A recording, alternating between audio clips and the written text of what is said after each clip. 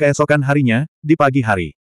Sekelompok sepuluh orang telah berkumpul di alun-alun istana Tuan Kota. Mereka adalah tiga orang dari keluarga, Xiao Rou, dan Dong Huasun. Xiao Rou tidak tidur sepanjang malam.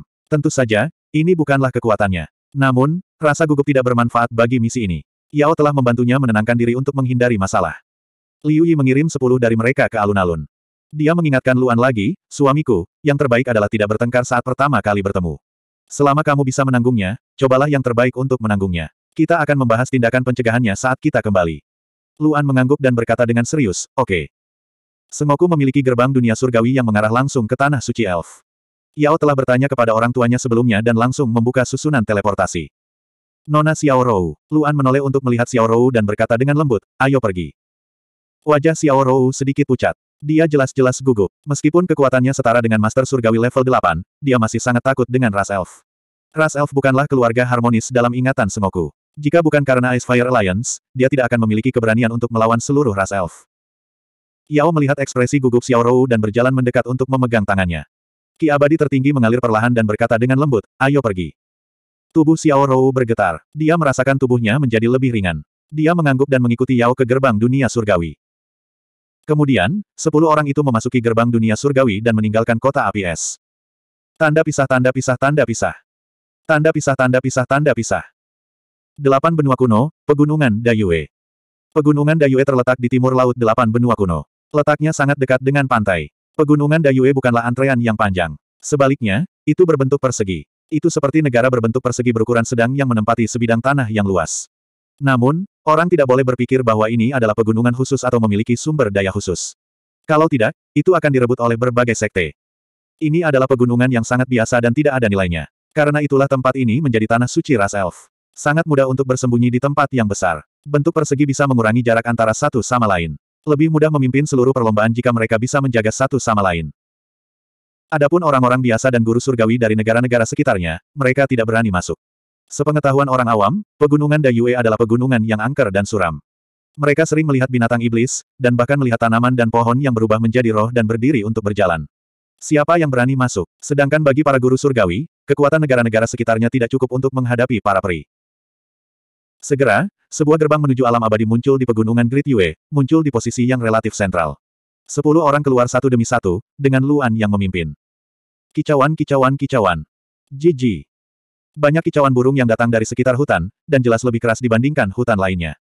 Selain itu, hutan di sekitarnya yang subur dengan rerumputan segar di mana-mana menandakan bahwa kehadiran para elf memang akan menyebabkan perubahan besar pada lingkungan. Luan menarik napas dalam-dalam ketika dia sampai di tempat ini. Melalui semoku, dia mengetahui bahwa para elf sebenarnya memiliki raja. Tentu saja, itu adalah raja tanpa mahkota elf. Namun, Sengoku pun hanya mengetahui hal ini. Lagi pula, sudah terlalu lama mereka tidak berinteraksi dengan para elf. Adapun situasi spesifiknya, mereka hanya dapat menyelidikinya hari ini. Base camp para elf berada di timur. Luan berkata kepada semua orang, ayo pergi, kita akan langsung terbang. Semua orang mengangguk dan langsung terbang ke langit. Sepuluh sosok melintas di langit, menuju ke arah timur dengan kecepatan ekstrim. Tempat ini awalnya relatif dekat dengan wilayah tengah, dan selain itu, kekuatan delapan orang semuanya berada di peringkat ke-8 atau lebih. Dengan sangat cepat, mereka sampai di tepi wilayah tengah. Luan tidak menyembunyikan auranya, menyebarkannya ke segala arah. Benar saja, tak lama kemudian lebih dari sepuluh sosok melonjak ke langit, dengan cepat muncul di depan sepuluh orang itu. Mereka bahkan secara samar-samar menunjukkan tanda-tanda mengelilingi sepuluh orang itu. Sebanyak empat belas orang, masing-masing memiliki rambut biru yang sama dengan Xiao Rou, dan tubuh mereka memancarkan sedikit cahaya biru. Namun, setelah mewarisi mahkota elf, rambut panjang Xiao Rou menjadi lebih indah dan murni, dan cahayanya lebih jelas dan berkilau. Keempat belas orang ini tidak bisa dibandingkan. Adapun kekuatan, keempat belas orang itu semuanya berada di peringkat ke-8, tetapi kekuatan mereka tidak kuat. Lebih dari separuhnya bahkan lebih lemah dari Luan. Siapa kalian ini? Salah satu elf berteriak keras. Kekuatan elf ini adalah yang tertinggi di antara para elf ini. Ini adalah tanah suci para elf, cepat pergi. Mendengar teguran pihak lain, Luan tidak marah. Dia terbang tiga meter dari sepuluh orang itu, menangkupkan tangannya, dan berkata kepada peri itu, saya Luan. Saya tidak mengganggu Anda tanpa alasan, tapi ada sesuatu yang ingin saya diskusikan dengan penguasa di sini. Kamu ingin bertemu raja kami. Peri itu mengerutkan kening, menatap manusia di depannya dengan sikap bermusuhan. Dia bisa merasakan kekuatan orang-orang ini, dan karena itu, dia sangat gugup. Jika mereka manusia biasa, dia pasti sudah mengusir atau membunuh mereka. Ini memang bukan sesuatu yang bisa dia putuskan. Setelah berpikir sejenak, dia berkata, tunggu di sini, saya akan pergi dan melapor. Segera, dia berbalik dan terbang ke arah timur. 13 elf yang tersisa memblokir di depan 10 orang, masing-masing dengan ekspresi serius. Menghadapi para elf ini, kecuali Xiao Rou, sembilan orang lainnya tidak gugup sama sekali. Mereka telah melihat badai yang lebih besar, apalagi para elf ini. Hanya Xiao Rou, meskipun dia tidak menunjukkan terlalu banyak kegugupan, tubuhnya jelas tegang, dan itu sangat tidak wajar. Sepuluh orang itu tidak perlu menunggu terlalu lama. Setelah beberapa saat, peri itu terbang kembali dan berdiri di depan sepuluh orang itu lagi. Raja ingin aku bertanya padamu, apa yang kamu lakukan di sini? Peri itu berteriak keras. Apakah kamu musuh atau teman? Mendengar kata-kata peri itu, Luan dan orang-orang di belakangnya jelas tercengang. Tampaknya mereka membawa terlalu banyak orang, sehingga membuat penguasa merasa takut. Setelah berpikir sejenak, Luan berkata, kami jelas bukan musuh para elf, tapi teman para elf. Nona Xiao Rou juga seorang elf, dan dia juga teman kita. Peri itu memandang Xiao Rou. Memang benar, mereka telah menyadari kehadiran Xiao Rou sejak awal. Setelah berpikir sejenak, dia bertanya, lalu apa yang kamu lakukan di sini? Jika Anda tidak menjawab, silakan keluar. Kami tidak akan membiarkanmu melihat raja. Hati Luan membeku. Pada saat ini, si cantik yang tiba-tiba membuka mulutnya dan berkata dengan dingin kepada peri itu, mahkota peri. Mendengar ini, tubuh ke-14 elf itu bergetar. Bahkan sepuluh orang dari Ice Fire Alliance gemetar dan memandang kecantikan yang dengan heran. Namun, bahkan Liu Yi pun sering berdiskusi dengan si cantik yang sendirian. Liu Yi mengatakan sebelumnya bahwa jika bukan karena kepribadian saudari yang yang dingin dan sombong yang tidak suka menangani masalah-masalah yang merepotkan ini dan tidak cocok untuk berurusan dengan orang luar, dia pasti akan menjadi jenderal yang hebat. Hal ini terlihat dari perkembangan kota Danau Ungu di masa lalu. Oleh karena itu, semua orang mempercayai pilihan kecantikan yang. Apa maksudmu? Peri itu bertanya dengan cepat. Kami punya berita tentang Elf Crown. Tatapan dingin si cantik yang menyapu para elf dan berkata, ini adalah harta karun yang bisa membawa para elf kembali ke puncak. Kamu seharusnya tahu lebih baik. Keempat belas elf semuanya tersentak. Peri yang memimpin segera berkata dengan semangat, tunggu sebentar, saya akan pergi dan melapor. Dengan itu, elf itu bergegas ke tengah dengan kecepatan yang jauh lebih cepat dari sebelumnya. Kali ini, dia kembali lebih cepat dan muncul di depan sepuluh orang lagi. Raja mengundangmu. Elf itu berkata dengan keras, begitu bersemangat hingga suaranya bergetar. Sepuluh orang, tolong ikuti saya. Tolong, kata Luan. Segera, empat belas elf dan sepuluh orang terbang ke area tengah. Hutan di bawah kaki mereka melintas dengan cepat, dan segera, sebuah kastil besar muncul dalam persepsi semua orang. Ketika kastil muncul, sepuluh dari mereka terkejut dan mengerutkan kening. Ketika sepuluh orang itu melihat kastil dengan jelas, alis mereka semakin berkerut. Kastil semacam ini, sebenarnya milik para elf. Sungguh sulit dipercaya. 2142. Benar sekali, kastil di depan mereka terlalu mewah. Seluruh kastil berwarna ungu, dan sepuluh di antaranya dapat mengetahui secara sekilas bahwa kastil itu terbuat dari batu pasir ungu yang sangat langka dan berharga. Biji jenis ini sepuluh kali lebih mahal daripada emas. Lebih penting lagi, ini bukanlah kastil biasa, tapi kastil raksasa yang menutupi seluruh puncak gunung. Hanya ukuran kastil ini saja yang sepuluh kali lebih besar dari istana biasa, dan ketinggian kastil lebih dari 400 kaki. Jumlah batu pasir ungu yang digunakan untuk membangun kastil sebesar itu sungguh tak terbayangkan. Luan belum pernah melihat kastil seperti itu bahkan di empat kerajaan besar dan berbagai sekte besar, tapi dia tidak menyangka akan melihatnya di tanah suci elf. Selanjutnya, sepuluh dari mereka menyadari bahwa di luar kastil dan di platform di dalam kastil, ada banyak pelayan serupa yang berjaga di mana-mana. Terutama para elf di dalam kastil, mereka semua adalah wanita. Pakaian wanita ini sangat tipis sehingga menonjolkan lekuk tubuh mereka. Kerah di depan dada mereka sangat rendah, memperlihatkan sebagian besar tubuh mereka. Celah di sisi rok mereka juga sangat tinggi sehingga memperlihatkan seluruh kaki mereka. Mereka bahkan samar-samar bisa melihat bagian dalam tubuh mereka, yang membuat imajinasi seseorang menjadi liar. Ini, apakah elf seharusnya terlihat seperti ini? Melihat pemandangan ini, Yao Yao mengerutkan kening. Ketika dia masih muda, dia mendengar dari orang tuanya bahwa elf adalah ras yang sangat sederhana dan mencintai alam. Mereka memiliki temperamen untuk kembali ke kesederhanaan, yang sangat jarang terjadi. Namun, melihat segala sesuatu di depannya, Yao Yao tidak dapat menghubungkannya dengan pemandangan dalam imajinasinya. Perbedaannya terlalu besar. Yao, kata Luan sambil terbang, sudah berapa lama sejak Sengoku datang ke wilayah elf? Tubuh Yao Yao sedikit gemetar, dan dia menatap suaminya dan berkata, setidaknya 3000 tahun. Sejak para elf kehilangan mahkota elf, komunikasi dengan Sengoku menjadi semakin berkurang, dan pada dasarnya mereka terputus. Tanpa undangan dari para elf, Sengoku tidak akan berinisiatif datang ke sini. Luan sedikit mengangguk. Segera, rombongan tiba di tujuan dan mendarat di luar kastil. Sepuluh dari kalian, Raja ada di dalam. Silakan ikuti saya, kata peri itu. Saat dia berbicara, peri itu memimpin jalan, dan sepuluh dari mereka mengikuti ke dalam kastil. Bagian dalamnya juga seluruhnya berwarna ungu, dan seluruhnya terbuat dari batu pasir ungu dari dalam keluar. Tidak hanya itu, di koridor panjang dan di taman di dalam kastil, terdapat banyak biji yang sangat mewah, yang bahkan lebih berharga dari batu pasir ungu. Jika biji ini dibawa keluar untuk diperdagangkan dengan manusia, kehidupan para elf akan menjadi sangat kaya. Di dalam kastil, ada elf perempuan berdiri di mana-mana. Para elf adalah anak-anak alam yang disayangi. Setiap wanita sangat cantik, tapi mereka juga mengenakan pakaian terbuka, yang membuat imajinasi orang menjadi liar. Setiap kali rombongan melewati suatu tempat, para elf perempuan ini akan membungkuk dengan cara yang sangat standar. Kepala mereka tertunduk dalam, dan rambut biru panjang mereka yang indah berserakan di tanah. Postur mereka sangat rendah hati. Bahkan pelayan manusia pun tidak lebih baik darinya.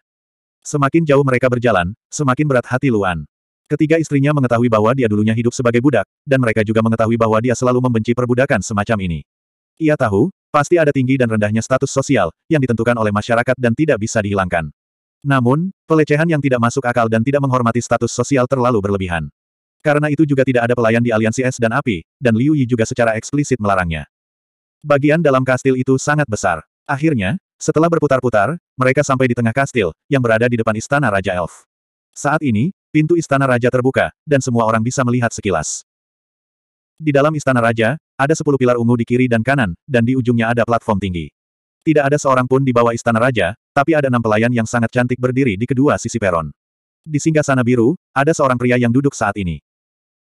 Pria ini tidak duduk tegak, melainkan bersandar di kursi, lengannya diletakkan tinggi di bangku, kakinya disilangkan, dan dia menatap orang-orang di luar pintu.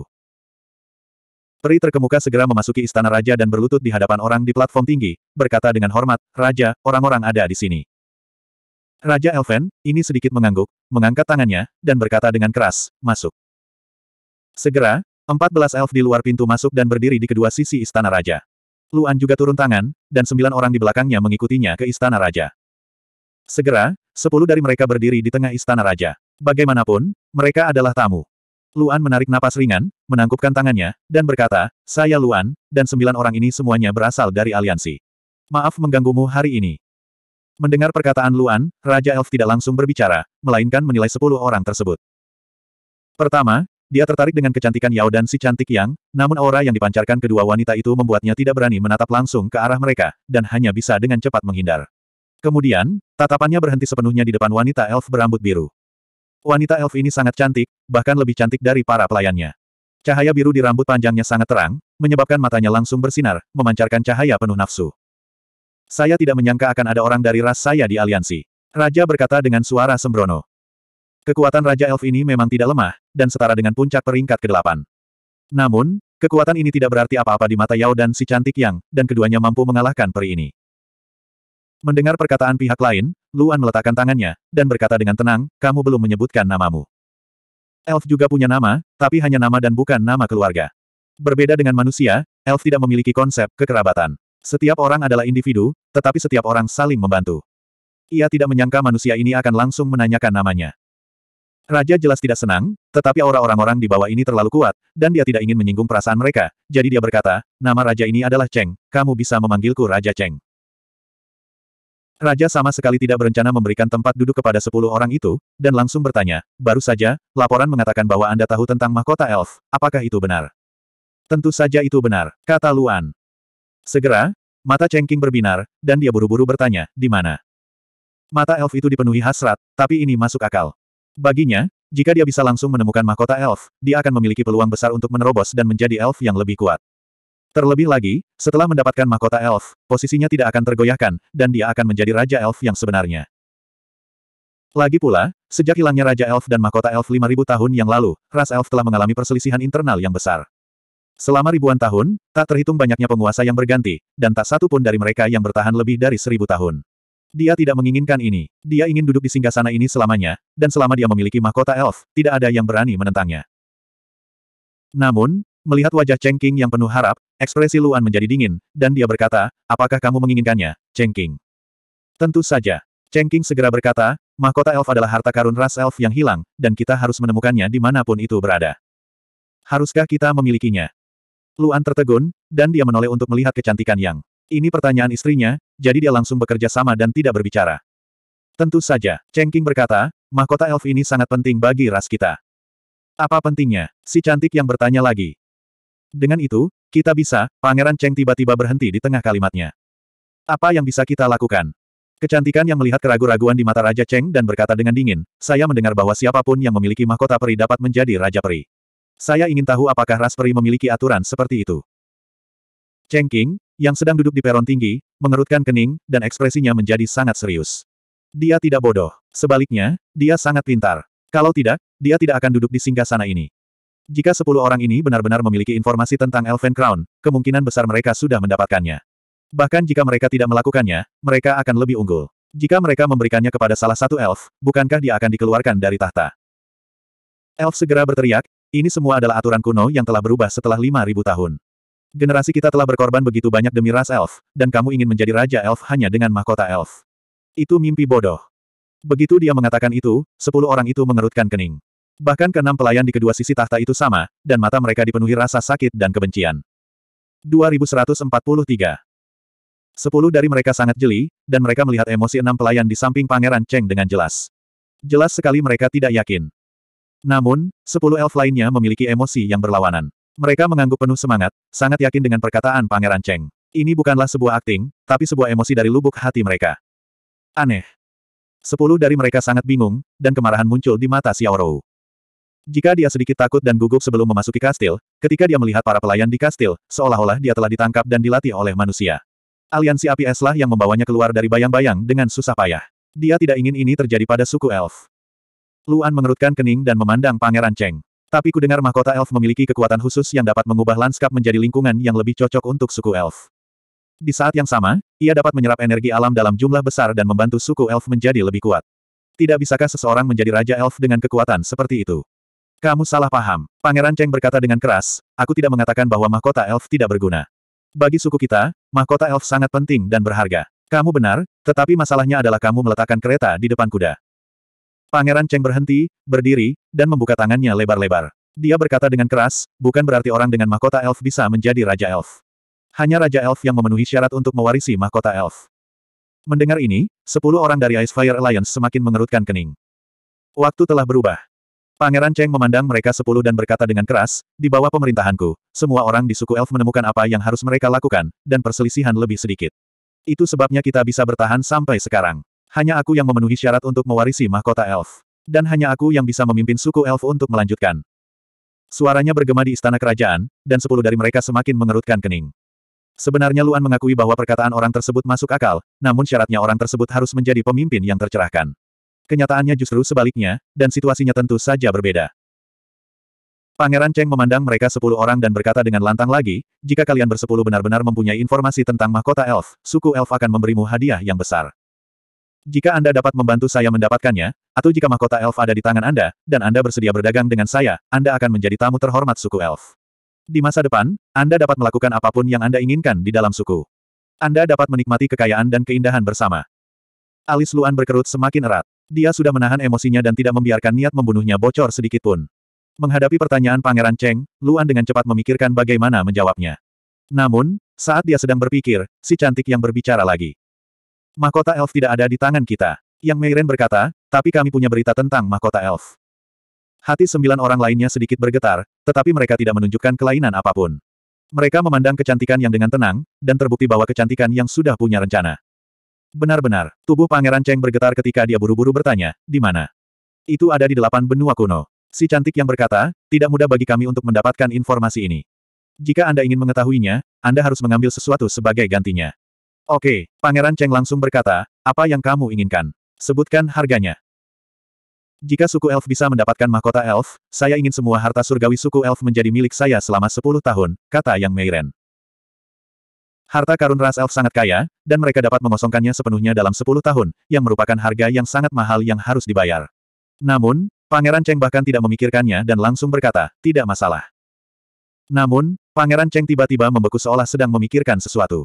Dia buru-buru bertanya, karena kamu tahu di mana mahkota elf berada, kenapa kamu tidak membawanya? Ini adalah kondisi kedua saya, kata si cantik yang Meiren. Lokasi mahkota elf sangat berbahaya, dan ada binatang aneh yang kuat yang menjaganya. Selain mahkota elf, ada harta karun lainnya. Aku ingin kita berdua pergi ke sana bersama-sama. Selain mahkota elf, semua harta karun itu milik kita.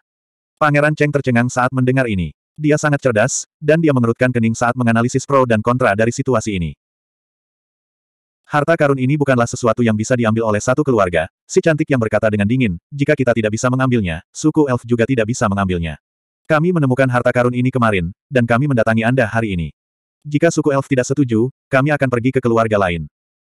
Jantung Pangeran Cheng berdetak kencang saat mendengar kata-kata si cantik yang. Dia tidak tahu apakah wanita ini mengatakan yang sebenarnya, tapi dia tidak berani mengambil risiko.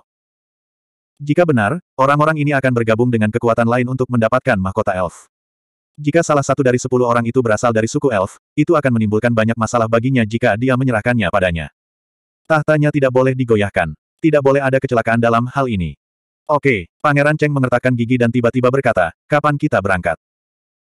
Besok, kata si cantik yang, harta karun itu ada di luar, dan penundaan yang lama berarti masalah. Begitu cepat.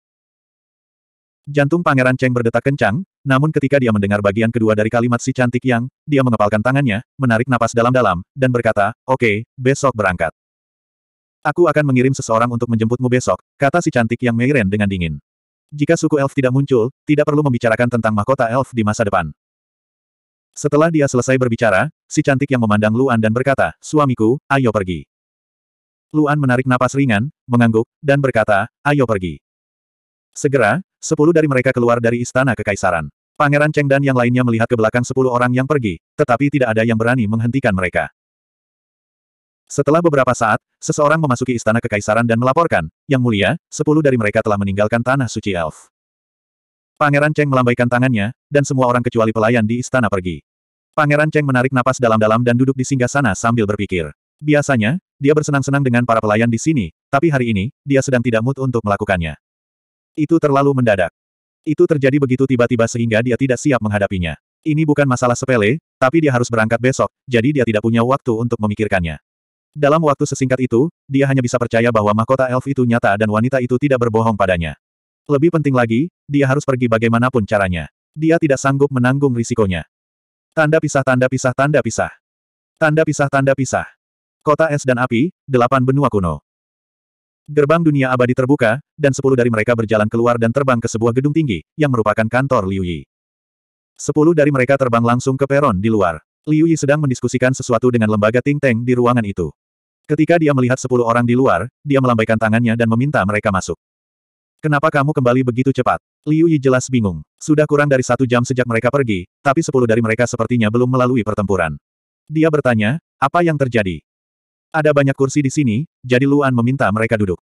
Semua orang di ruangan itu bisa dipercaya. Luan meminta Guo Pingxian menceritakan kepada mereka semua yang telah terjadi, termasuk semua yang dia lihat dan dengar.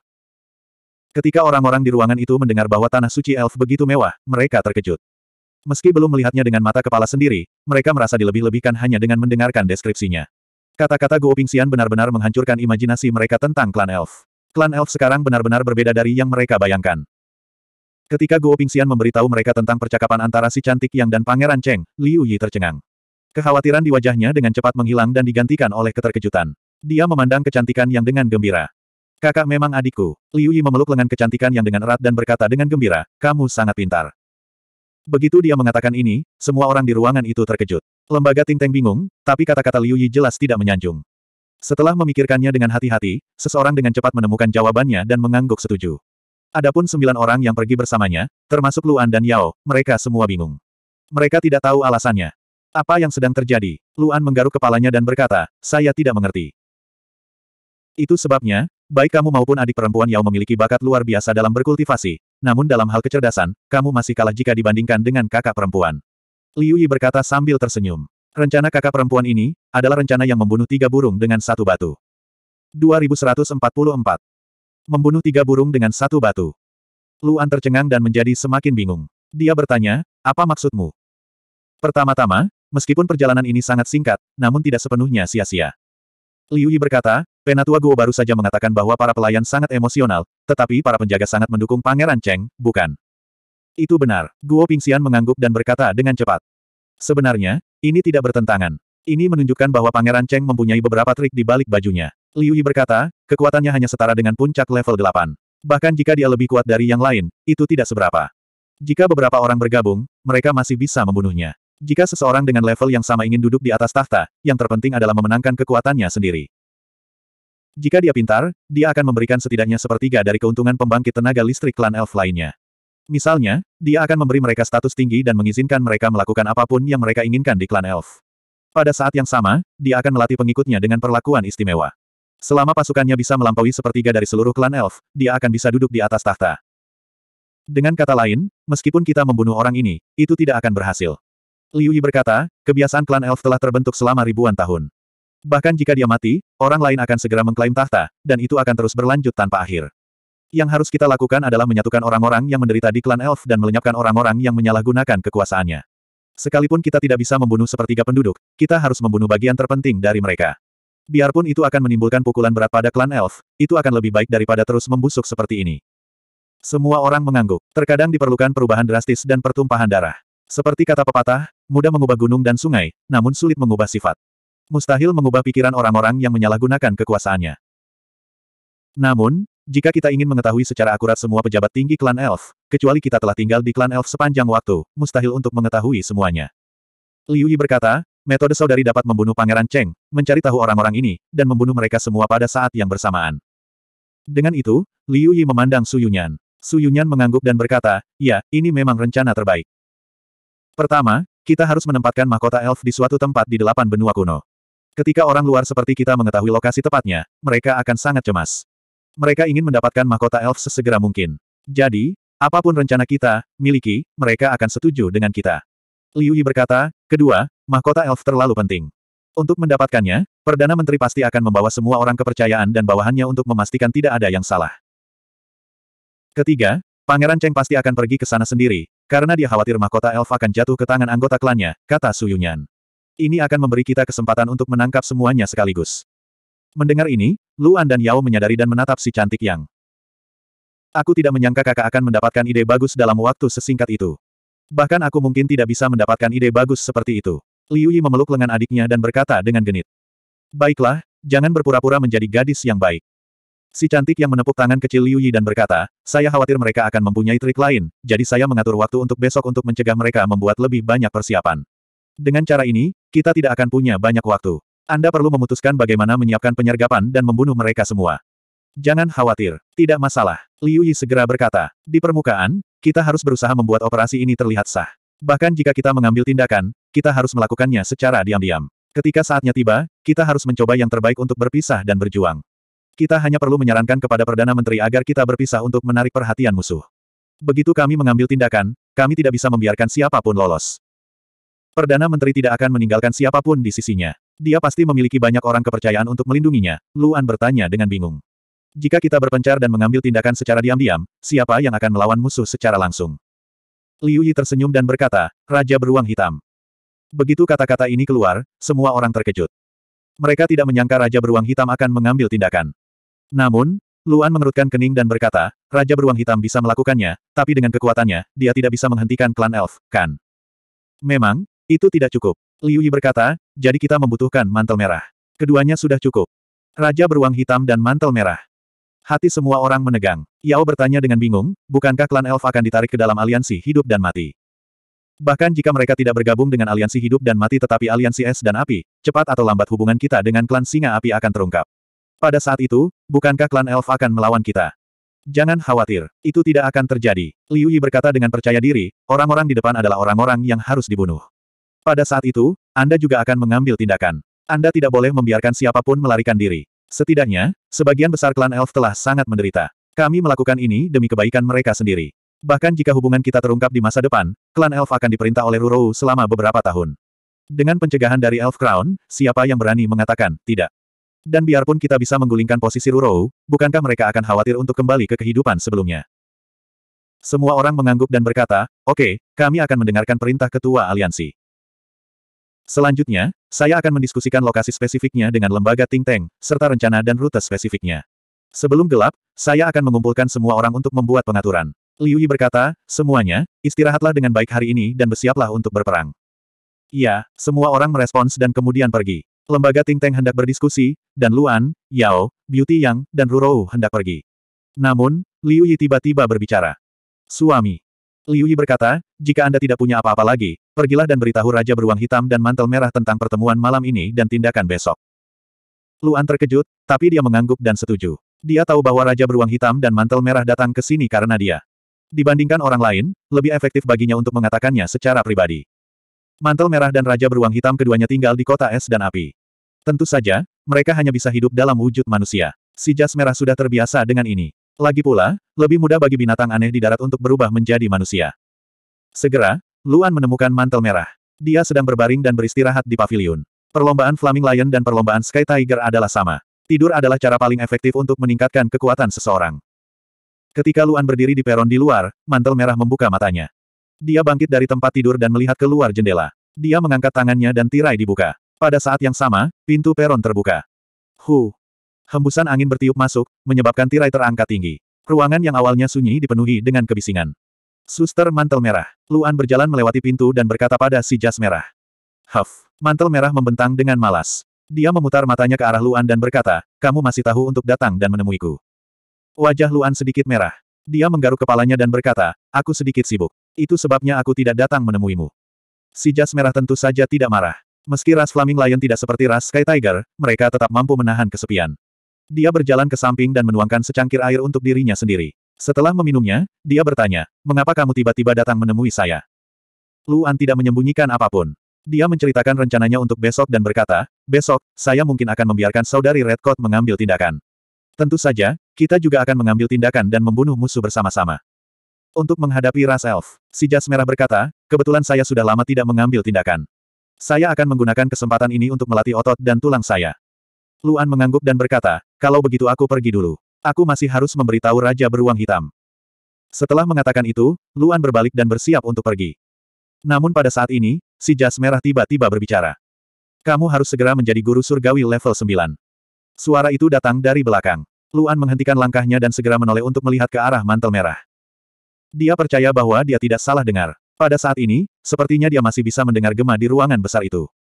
Apa maksudmu? Luan dengan cepat bertanya. Mantel merah memiliki arti yang berbeda baginya. Si jas merah adalah teman dekat ibunya. Hanya si jas merah yang tahu tentang ibunya. Oleh karena itu, dia memperhatikan setiap kata yang diucapkan si jas merah.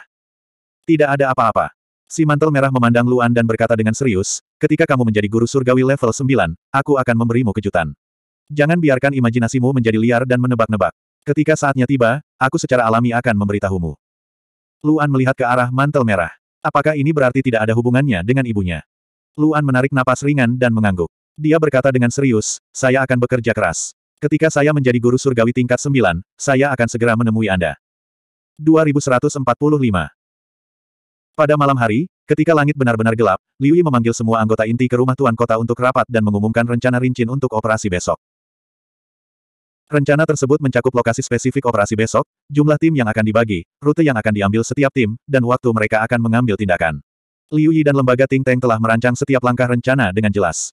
Tidak ada ambiguitas.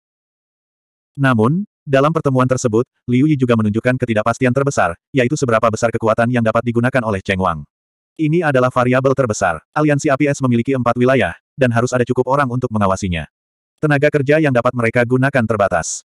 Jika Cheng Wang menggunakan terlalu banyak kekuatan, maka Raja Beruang Hitam dan Mantel Merah akan berada di bawah tekanan lebih besar. Benar sekali, untuk memastikan implementasi rencana yang aman, ada batasan jumlah orang yang bisa dibubarkan oleh setiap tim. Di bawah perintah Liu Yi, mereka tidak boleh melebihi batas untuk memastikan bahwa mereka dapat membunuh. Jika Raja Beruang Hitam, Mantel Merah, Luan, dan Yang Meiren pada akhirnya menghadapi terlalu banyak musuh, mereka hanya bisa membiarkan Yao mengambil tindakan. Luan dan Liu Yi tidak ingin Yao terlibat. Bagaimanapun, Yao mewakili Sengoku. Setelah rencana disusun, semua orang menerima perintah tersebut dan pergi untuk mengatur tim yang akan mereka pimpin. Hanya anggota keluarga dan Xiao Rou yang tersisa di ruangan itu. Suasana hati Xiao Rou jelas sedang buruk, dan dia juga sama selama pertemuan. Alasan rendahnya semangatnya sederhana saja. Sejumlah besar rakyatnya akan dibunuh besok. Meskipun mereka semua orang jahat, ada begitu banyak dari mereka sehingga dia menyalahkan dirinya sendiri. Liu Yi secara alami memperhatikan suasana hati Xiao Rou. Dia berjalan ke sisi Xiao Rou dan berkata, bagaimana? Apakah kamu siap? Xiao Rou tercengang. Dia segera berdiri dan menghadap Liu Yi. Dia selalu memperlakukan Liu Yi sebagai tuannya, bahkan sampai sekarang. Aku, Xiao Rou menundukkan kepalanya. Dia tidak berani berbohong di depan Liu Yi. Melihat penampilan Xiao Rou, Liu Yi tersenyum lembut, memegang tangan Xiao Rou, dan berkata, percayalah, sejarah ras elf tidak akan pernah menyalahkanmu. Itu pasti akan menuliskanmu sebagai raja tercerahkan yang menyelamatkan seluruh ras elf. Mendengar ini, tubuh Rurou gemetar. Dia telah bersama Liu Yi begitu lama, dan kata-kata Liu Yi pada akhirnya menjadi kenyataan. Dia hampir begitu saja percaya pada Liu Yi. Tekanan di hatinya berkurang banyak, dan dia mengangguk penuh semangat. Ayo kembali dan istirahat, kata Liu Yi, agar kita bisa istirahat dengan baik untuk besok. Tanda pisah tanda pisah tanda pisah. Tanda pisah tanda pisah tanda pisah. Pagi selanjutnya. Langit baru saja bersinar, tapi para elf sudah gugup. Pangeran Cheng dan anak buahnya menunggu di luar kastil sampai anak buah Luan tiba. Peristiwa hari ini merupakan peristiwa yang belum pernah terjadi sebelumnya baginya, sekaligus peluang yang belum pernah terjadi sebelumnya. Selama dia bisa mendapatkan mahkota elf, dia pasti bisa menjadi raja untuk waktu yang lama.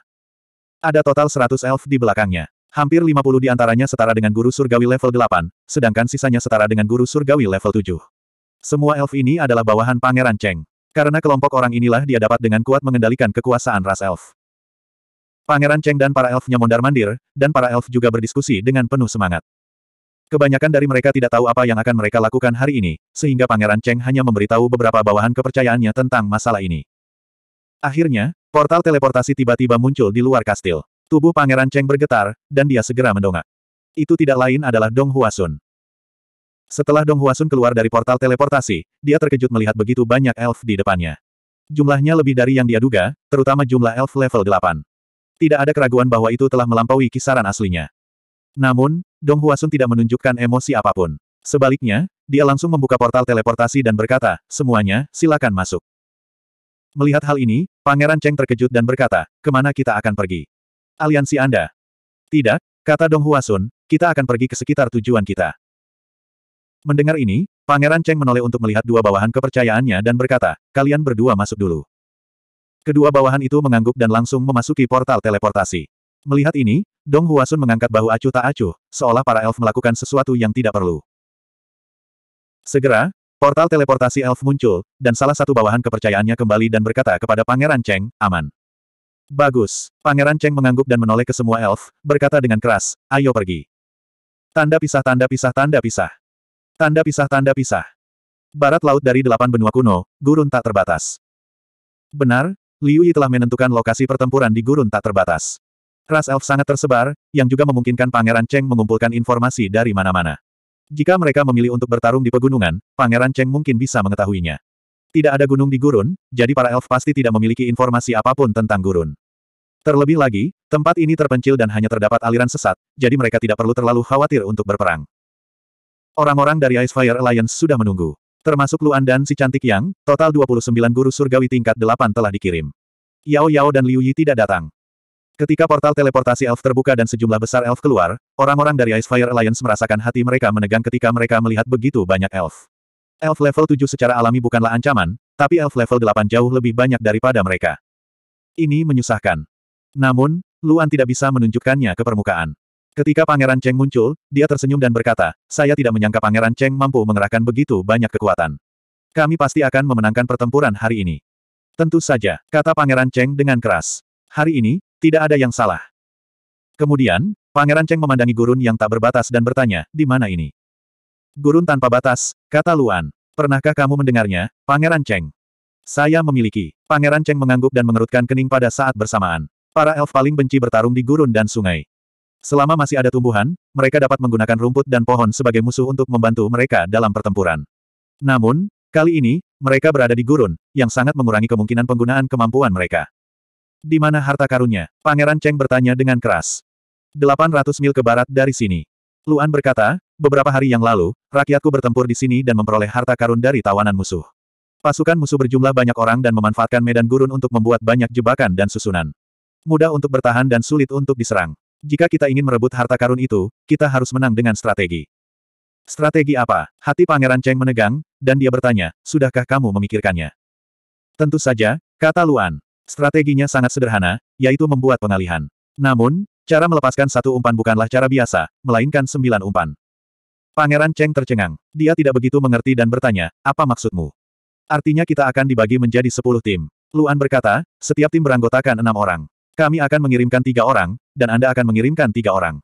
Sembilan tim umpan akan menyerang posisi musuh dari arah yang berbeda untuk menarik perhatian mereka. Mereka tidak perlu terlalu menyerang markas musuh. Mereka hanya perlu menahan kekuatan sebanyak mungkin. Sedangkan untuk tim terakhir, tiga orang tersisa dari aliansi kita dan sisa orang dari suku Elf akan membentuk tim dan menyerang dari belakang. Mereka akan menghancurkan markas musuh dalam satu gerakan dan membunuh semua musuh, Lu kata seorang. Ini rencananya. Apakah Pangeran Cheng keberatan? Pangeran Cheng tidak langsung setuju. Sebaliknya, ia dengan cepat mempertimbangkan pro dan kontra. Memang adil jika setiap tim memiliki masing-masing tiga orang. Terlebih lagi, tim yang paling penting adalah dia memiliki lebih banyak orang daripada manusia ini. Mereka pasti mendapat keuntungan besar. Menurutnya, dia bahkan menganggap manusia ini sangat tulus. Dia tidak perlu membicarakan apa pun. Baiklah, kata Pangeran Cheng dengan keras. Ayo lakukan itu. Luan sedikit mengangguk. Dia melihat orang-orang di belakangnya dan berkata, berbaris. Segera, 27 orang itu berpisah dan membentuk sembilan tim yang terdiri dari tiga orang. Hanya Luan dan si cantik yang yang tersisa di luar. Melihat hal ini, Pangeran Cheng segera mengatur elfnya menjadi tim kecil beranggotakan tiga orang dan bergabung dengan tim aliansi manusia. Segera, sembilan tim beranggotakan enam orang dibentuk. Kesembilan tim ini tidak mengizinkan elf tingkat ketujuh untuk bergabung dengan mereka. Bagaimanapun, mereka perlu mengambil jalan memutar untuk membuat pengalihan. Memiliki elf tingkat ketujuh akan sangat memperlambat kecepatan mereka dan akan menjadi beban yang berat. Saya sudah merencanakan rutenya. Orang-orang Anda hanya perlu mengikuti orang-orang kami, kata Luan. Setengah jam setelah mereka berangkat, kita bisa keluar. Pangeran Cheng mengangguk. Tidak perlu ragu sekarang. Dia berkata kepada para elf, kamu harus menahan musuh. Iya, para elf segera mengangguk dan berteriak. Luan melihat ke sembilan tim di depannya. Setelah menarik napas dalam-dalam, dia berkata, ayo keluar. Segera, sembilan tim itu pindah dan dengan cepat menghilang ke gurun. 2146 Luan dan Yang Meiren menunggu di tempat, begitu pula Pangeran Cheng dan para elf lainnya. Kesembilan tim bergerak maju dengan kecepatan penuh dan membentuk pengepungan di sembilan arah berbeda. Rencananya, empat tim di lingkaran terluar akan membunuh para elf dalam waktu setengah jam. Setelah itu, orang-orang dari Ice Fire Alliance akan segera berkumpul di dalam untuk membantu tim lain. Mereka akan mengumpulkan keuntungan sedikit demi sedikit sampai semua elf terbunuh dan berkumpul di sekitar Luan. Itu tiga lawan tiga, tapi Liu Yi sangat yakin bahwa dia bisa membunuh semua elf dan tidak membiarkan satupun dari mereka melarikan diri. Pertama-tama, anggota masing-masing tim sangat khusus dan dapat bekerja sama dengan baik satu sama lain. Kedua, ini adalah gurun, jadi kekuatan para elf berkurang drastis. Yang terakhir, orang-orang ini adalah tuan yang kuat yang telah terbunuh sedikit demi sedikit. Mereka benar-benar berbeda dari para elf yang cinta damai. Pertumbuhan pertarungan sebenarnya dari pertarungan internal jauh lebih sedikit dibandingkan dengan para master surgawi laut dalam yang telah membunuh mereka untuk keluar dari tumpukan tulang. Ketika mereka benar-benar bertarung, mereka tahu seberapa besar kesenjangannya. Kesembilan tim bergerak maju dengan cepat di padang pasir. Tidak ada kekuatan alami yang bisa digunakan para elf di sini. Sebaliknya, mereka harus mengonsumsi tenaga alam untuk mempertahankan diri. Elf berbeda dari manusia. Setelah manusia menjadi guru surgawi tingkat enam, mereka dapat menyerap kekuatan langit dan bumi dari mana saja. Tentu saja hal ini juga dipengaruhi oleh lingkungan spesifik dan atributnya sendiri. Namun pada akhirnya, itu hanya soal kecepatan. Namun, kekuatan alami para elf hanya dapat diambil dari tumbuhan, yang berarti mereka tidak dapat memulihkan kekuatannya. Begitu mereka menghabiskan terlalu banyak kekuatan, mereka hanya bisa menunggu seseorang untuk menyelamatkan mereka. Di bawah kepemimpinan tiga orang dari Ice Fire Alliance, kecepatannya sangat cepat. Untuk mengimbanginya, para elf harus bergerak maju dengan sekuat tenaga untuk menghabiskan banyak kekuatan mereka terlebih dahulu. Setelah melaju dengan kecepatan penuh selama 15 menit, kekuatan alami di tubuh elf telah dikonsumsi hampir 10%. Setelah melaju dengan kecepatan penuh selama 30 menit, konsumsi daya mereka telah melebihi 10%. Setiap orang di Ice Fire Alliance memiliki banyak pil pemulihan. Meskipun para elf juga punya beberapa, mereka pasti tidak punya banyak. Setelah 30 menit, tim paling utara dan selatan dari sembilan tim resmi dimulai. Waktu sudah habis. Pemimpin tim paling utara dari Ice Fire Alliance adalah Dong Huasun. Alasan dia ada di sini adalah untuk menyelesaikan ini secepat mungkin sehingga dia bisa mengumpulkan keunggulan tim secara keseluruhan. Dia memberi isyarat tangan kepada dua orang lainnya yang hanya mereka yang mengerti. Bagi orang luar, itu adalah sikap yang sangat umum. Dua orang lainnya juga memahami dan melakukan persiapan. Dong Huasun tidak langsung menyerang. Sebaliknya, dia berkata kepada ketiga elf itu, lingkungan di sini sangat kering. Bukankah menyenangkan bersenang-senang di rumah? Mengapa bekerja sampai mati di sini? Ketiga elf itu tercengang. Mereka tidak menyangka Dong Huasun akan mengucapkan kata-kata seperti itu. Namun, ini memang yang dipikirkan ketiga elf itu. Mereka semua adalah bawahan Perdana Menteri, namun mereka bukanlah pembantu kepercayaan Perdana Menteri. Mereka semua memiliki motif egois masing-masing. Mereka mengikuti Pangeran Cheng hanya untuk kesenangan, tetapi mereka tidak pernah berpikir bahwa mereka harus menderita di sini. Meskipun ketiga elf itu tidak mengatakan apa-apa, ekspresi mereka dengan jelas menunjukkan bahwa mereka setuju. Mata Dong Huasun tiba-tiba berbinar, dan dia berkata kepada ketiga elf itu, mengapa kita tidak istirahat? Bagaimanapun, kami berada di wilayah paling utara. Sekalipun kita malas, tidak akan ada yang mengetahuinya. Mengapa kita harus mengambil risiko? Ketiga elf itu tercengang saat mendengar ini. Mereka memandang Dong Huasun dengan heran. Usulan ini memang sangat menggiurkan. Lebih penting lagi, mereka tidak menyangka ketiga manusia ini memiliki pemikiran yang sama dengan mereka, jadi mereka segera lengah. Saat ketiga elf itu melonggarkan kewaspadaan mereka, mata Dong Huasun menjadi dingin, dan dia melihat kedua orang di belakangnya. Mereka bertiga melepaskan auranya dan menyerang di saat yang bersamaan. Serangan naga banjir yang mengamuk. Daun sepuluh ribu racun. Menara penekan langit. Dalam sekejap, mereka bertiga menggunakan semua kartu truf mereka. Dua orang lainnya murni menyerang. Mereka memimpin dan menyerang tiga elf yang jaraknya kurang dari sepuluh kaki. Setelah dua serangan tersebut, menara penekan langit jatuh dari langit, langsung menjebak ketiga elf dan dua kekuatan penyerang. Ketiga elf itu hanya bisa menghadapi dua serangan itu secara langsung. Di bawah penindasan menara penekan langit, kekuatan ketiga elf berkurang drastis. Dalam menghadapi tiga serangan kuat, mereka tidak punya waktu untuk mengumpulkan kekuatan dan menggunakan kekuatan terkuat mereka untuk melawan. Ini berarti ketiga elf itu langsung ditelan. Menara penekan langit bergemuruh dan terjadi kekacauan. Tiga kekuatan kekerasan saling bertabrakan. Hanya kekuatan ini saja sudah cukup untuk membuat ketiga elf itu tidak mampu melawan. Mereka hanya bisa dengan tergesa-gesa menggunakan kekuatan alam untuk melindungi diri mereka sendiri, namun kekuatan itu segera dihancurkan oleh ledakan. Dalam sekejap, ketiga elf itu terluka parah. Lebih penting lagi, mereka masih berada di bawah tekanan menara penekan langit dan tidak bisa pergi. Menyusut. Di luar menara penekan langit, Dong Huasun berteriak dan mengendalikan menara penekan langit agar menyusut dengan cepat. Namun, penindasan di dalam tidak berkurang sama sekali. Sebaliknya, ia tumbuh semakin kuat. Ketiga elf itu mati-matian menahan penyusutan menara penekan langit. Gabungan ketiganya mampu melawan Dong Huasun untuk sementara waktu. Menara penekan langit memang kuat, namun juga memiliki kelemahan. Dua elf lainnya tidak bisa menyerang ketiga elf dari luar menara penekan langit. Bahkan celah sekecil apa pun di menara penekan langit akan sangat mengurangi kekuatan penekan di dalamnya. Namun, ketiganya sudah membicarakan kerjasamanya tadi malam. Dua lainnya sekali lagi mengumpulkan kekuatan, siap menyerang kapan saja. Melihat ini, Dong Huasun tiba-tiba mengayunkan tangannya dan berteriak, hancurkan. Bang! Cahaya kemasan besar dari menara penekan langit segera menghilang dan meledak di udara.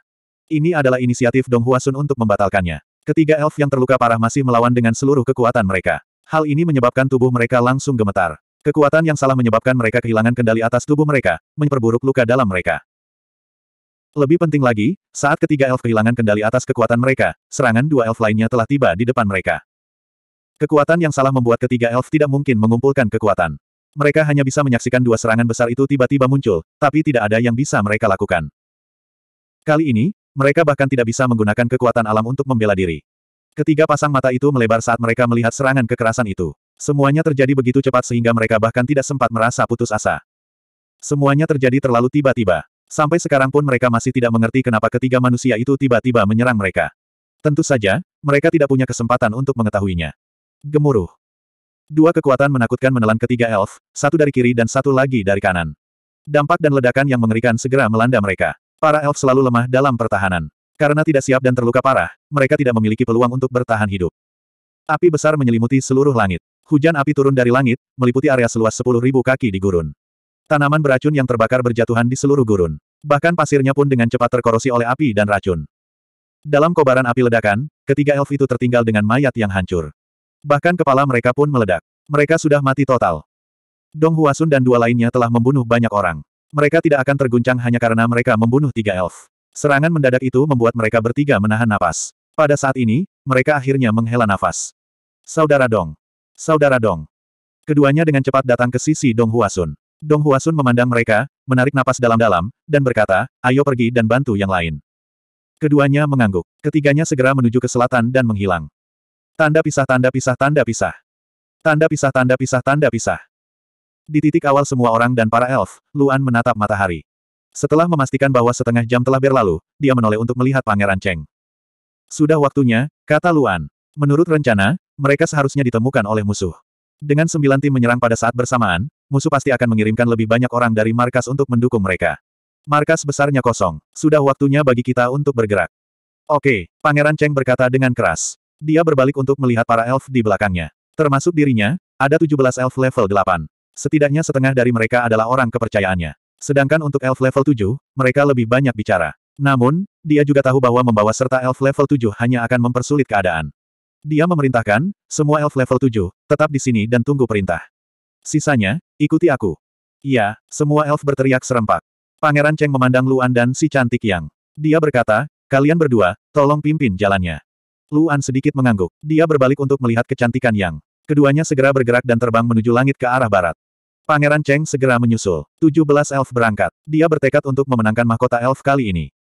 2147 17 elf level 8, termasuk Luan dan Yang Meiren, berjumlah 19 orang yang terbang ke depan. 19 di antaranya tidak terbang terlalu cepat, hanya setara dengan kecepatan elf level 8 tahap awal. Meskipun kecepatan ini tidak lambat bagi Luan, pastinya tidak cepat bagi 17 elf. Untuk bisa menjadi orang kepercayaan Raja Cheng, para elf ini tidak hanya setia kepada Raja Cheng, tapi mereka juga cukup kuat. Setengah dari 16 elf ini setara dengan guru surgawi tingkat 8 tingkat menengah, enam setara dengan guru surgawi tingkat tinggi delapan, dan dua sisanya setara dengan guru surgawi tingkat delapan puncak. Orang-orang ini bergerak maju dalam kelompok, tetapi jarak mereka tidak dekat satu sama lain. Mereka berada pada jarak di mana mereka dapat saling mendukung, tentunya untuk mencegah agar tidak dimusnahkan oleh musuh. Luan dan Yang Meiren tidak terkejut melihat ini. Ini adalah pembentukan kelompok paling dasar. Jika para elf tidak memahami prinsip ini, maka mereka terlalu bodoh. Mereka tidak dapat bertindak terlebih dahulu. Segalanya harus berjalan sesuai rencana. Ini adalah rencana pertempuran yang direncanakan oleh Liu Yi. Selama mereka memikat semua elf ini ke tujuan akhir, mereka pasti bisa menangkap mereka semua dalam satu gerakan. Tak satu pun dari mereka yang bisa melarikan diri. Aliansi Tuan Lu. Tiba-tiba, suara Raja Cheng terdengar dari jauh. Luan sedikit terkejut. Dia berbelok ke kanan dan berkata, apa yang bisa saya bantu, Raja Cheng? Kenapa aku tidak melihat peri di sampingmu kemarin? Tanya Raja Cheng. Dia, Luan berkata, dia ahli strategi dalam aliansiku. Dia tidak pandai bertarung. Dia tidak perlu terlibat dalam pembunuhan semacam ini kecuali benar-benar diperlukan. Jadi begitu, Raja Cheng mengangguk dan berkata, jarang melihat peri yang telah berkultivasi hingga level 8, dan dia bahkan seorang wanita. Bahkan aku tidak memiliki banyak peri. Jika aliansi Master Lu bersedia, bisakah Anda mengembalikannya ke suku saya? Dia hanya satu orang, dan dia tidak akan banyak mempengaruhi aliansi Anda. Kami para elf bersedia menyiapkan hadiah yang murah hati untuk Anda. Luan berpikir sejenak dan berkata, aku harus kembali dan menanyakan hal ini padanya. Jika dia bersedia, aku tidak akan menghentikannya.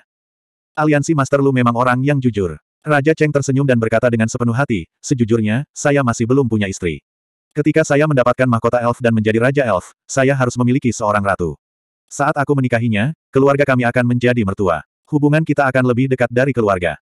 Luan tersenyum dan berkata, itu bagus. Meskipun Luan tersenyum, hatinya dingin. Namun, dia tidak marah. Bagaimanapun, pihak lain akan mati hari ini, dan dia tidak ingin marah pada orang yang sudah meninggal. Tidak butuh waktu lama bagi mereka untuk menempuh jarak 600 km, dan jarak mereka hanya 200 km dari tempat seharusnya. Saat mencapai jarak ini, semua orang menjadi waspada. 200 mil bukanlah jarak yang jauh. Mereka sudah memasuki wilayah musuh. Bahkan Pangeran Cheng menjadi tidak terlalu banyak bicara. Ekspresinya serius dan hati-hati. Tuan Aliansi Lu, sekarang kita sudah sampai di sini, bisakah kita berbicara terus terang? Pangeran Cheng melambat, begitu pula para elf di sekitarnya. Dia menatap Luan lagi dan bertanya dengan suara yang dalam, bagaimana kamu menemukan mahkota elf di sini? Itu benar. Luan belum memberitahu Pangeran Cheng secara detail, tetapi jika dia membuat Pangeran Cheng dalam ketegangan, dia pasti akan dicurigai. Jadi dia bertanya, apakah Pangeran Cheng tahu tentang ular Tian Chang Yu? Ketika Pangeran Cheng mendengar ini, tubuhnya langsung gemetar. Dia secara alami tahu tentang ular Tian Chang Yu. Semua anggota inti klan elf tahu bahwa hilangnya mahkota elf 5000 tahun yang lalu berada di tangan ular Tian Chang Yu. Segera, Pangeran Cheng semakin mempercayai kata-kata Luan, tapi dia juga sangat bingung. Dia buru-buru berkata, saya tahu. Apakah wilayah ular Tian Chang Yu ada di depan kita? Mereka memiliki binatang eksotis level 9. Jangan takut, Pangeran Cheng. Jika ada binatang eksotis tingkat 9, aku tidak akan berani datang. Luan berkata, setahun yang lalu, orang-orangku secara tidak sengaja masuk ke wilayah ular Tian Chang Yu dan bertarung dengan mereka. Yang aneh adalah meskipun ada banyak ular Tian Chang Yu, mereka semua adalah binatang eksotik tingkat delapan. Semuanya terluka parah, jadi mudah untuk membunuh mereka semua dan menyisakan beberapa untuk diinterogasi. Mereka mengatakan bahwa wilayah mereka ditemukan oleh sebuah sekte, dan bahkan Raja Ular pun terbunuh. Sebelum mereka dimusnahkan, Raja Ular dengan putus asa mengawal mereka dan melarikan diri dengan membawa harta karun mereka. Salah satu tim memiliki Elf Crown. Itu dia, mata Pangeran Cheng berbinar. Itu benar. Luan mengangguk dan berkata, kami telah melacak sisa-sisa ular Tian Chang Yu. Kali ini, kami menemukannya di gurun. Kami menangkap seekor ular di pinggiran, dan dikatakan bahwa mahkota elf ada di tangan mereka.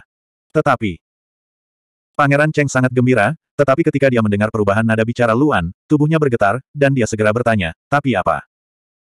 Tetapi untuk melindungi diri mereka sendiri, kelompok ular ini telah menjalin hubungan dengan banyak binatang eksotik. Kita tidak hanya harus menghadapi ular Tian Chang Yu. Luan berkata, ini juga alasan aku pergi mencarimu. Jika itu hanya ular Tian Chang Yu, kami sendiri yang akan menjatuhkannya. Semua kebohongan Luan telah dipikirkan oleh lembaga Ting Teng. Liu Yi khawatir para elf ini akan sangat ketakutan jika mereka melihat beruang dan singa api, bukan ular. Mereka akan mengira bahwa mereka telah jatuh ke dalam perangkap Luan dan harus melarikan diri. Oleh karena itu, dia telah mempersiapkan para elf ini terlebih dahulu agar apa pun yang terjadi, mereka tidak akan melarikan diri. Benar saja, Pangeran Cheng menarik napas dalam-dalam dan berkata dengan suara rendah, tidak peduli siapa yang menghalangi hari ini, aku akan menyelesaikannya. Tidak ada yang bisa menghentikanku untuk mendapatkan mahkota elf. Saat mendengar perkataan Pangeran Cheng, Luan juga menghela nafas lega. Saat mereka berbicara, 19 elf terbang 50 km lagi, dan jarak mereka hanya 50 km dari target mereka. 80 km. 60 km. Gurun di bawah berlalu dengan cepat, dan ketika mereka hanya berjarak 50 km dari target mereka, Pangeran Cheng tiba-tiba melambat. Tidak hanya Pangeran Cheng, 16 elf lainnya juga melakukan hal yang sama. Mereka tiba-tiba mengubah arah dan terjun menuju gurun di bawah. Mereka mencapai ketinggian 30 ribu kaki dalam sekejap mata. Ketujuh belas elf semuanya berdiri di gurun, dan bahkan gurun di sekitarnya pun berguncang. Di langit, Luan dan Yang Meiren melihat pemandangan ini, dan ekspresi mereka menjadi serius. Selama perjalanan, mereka paling khawatir Pangeran Cheng akan mengetahui rencana mereka, atau elf musuh akan tiba-tiba menyerang.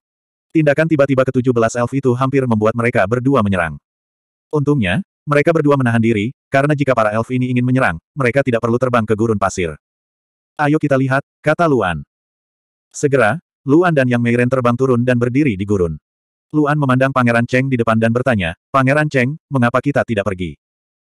Bukannya kami tidak ingin pergi, tapi kami ingin benar-benar yakin. Pangeran Cheng menoleh untuk melihat ke arah Luan, tersenyum percaya diri, dan berkata, Tuan Aliansi Lu, lihat saja. Hati Luan menegang, tapi dia terlihat seperti biasa. Empat dari enam belas elf menonjol dan menggunakan kekuatan mereka bersama-sama. Segera, seberkas cahaya biru dengan diameter lebih dari 20 ribu kaki muncul. Mata Luan menyipit. Sinar cahaya ini dipenuhi dengan kekuatan ruang. Tidak diragukan lagi itu adalah formasi teleportasi. Formasi teleportasi sebesar itu jelas tidak dipersiapkan untuk para elf, tetapi untuk ras besar tertentu. Apakah para elf mengundang binatang aneh untuk membantu mereka? Luan tidak perlu berpikir terlalu banyak. Segera, kenyataan di depannya memberitahu dia jawabannya. Keempat elf memasuki formasi teleportasi elf, dan formasi tersebut ditutup. Namun segera, formasi itu terbuka kembali, dan kali ini, aura menakutkan segera menyebar. Gemuruh. Mata Luan menyipit, begitu pula yang Meiren yang berada di sampingnya.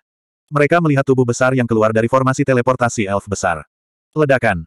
Sesosok bergegas keluar, dan bergegas ribuan kaki jauhnya. Itu sebenarnya adalah badak. Luan telah mempelajari banyak binatang aneh, tetapi sekilas dia dapat mengenali bahwa ini adalah badak gunung dengan garis keturunan tertinggi di antara badak. Badak ini tingginya 13.000 kaki dan panjangnya 24.000 kaki. Tubuhnya sangat keras, dan di kepalanya terdapat kula badak yang berbentuk seperti gunung kecil. Jika binatang aneh dari alam yang sama terkena kula badak ini, meskipun tidak mati, ia akan terluka parah. Ledakan. Luan dan Yang Meiren kembali terkejut, karena ada lebih dari satu badak gunung. Ledakan, ledakan. Setelah badak pertama keluar, tiga badak lainnya menyusul. Setelah total empat badak gunung muncul, formasi teleportasi ditutup. Kekuatan keempat badak gunung ini tidak lemah. Yang satu adalah peringkat ke-8 awal, dua peringkat ke-8 menengah, dan satu lagi peringkat ke-8 akhir. Lebih penting lagi, badak tidak seperti elf yang kekuatannya akan berkurang drastis di gurun.